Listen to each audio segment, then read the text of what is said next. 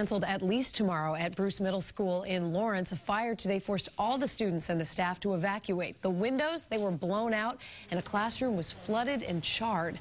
WBZ's Nick Giovanni's live in Lawrence where crews were boarding that building up tonight. Nick?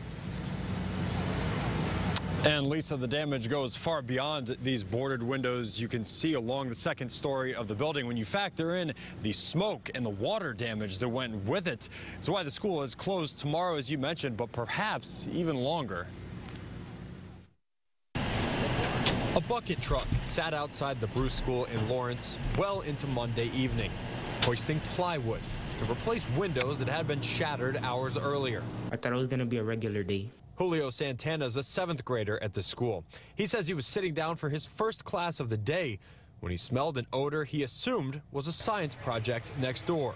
It was like okay at first, and then it started getting worse, the smell. And then I started getting worried, and then I told the teacher to go check in the class next to us. When Julio and his teacher opened that classroom door, he says they quickly realized this was no experiment. There was like smoke everywhere, and like when I looked on my left, there was fire there. It was in that moment as smoke consumed the classroom and began seeping into the hallways. Nearly 600 students and teachers were evacuated from the Bruce School and transported to Guilmette Middle School, not knowing when they could return.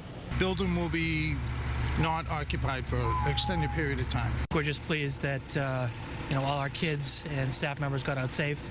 Um, the procedures that we practiced worked.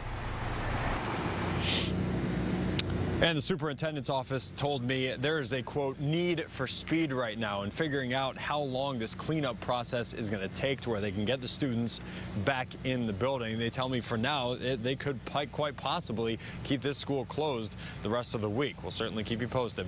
For now, we're live in Lawrence. Nick Giovanni, WBZ News.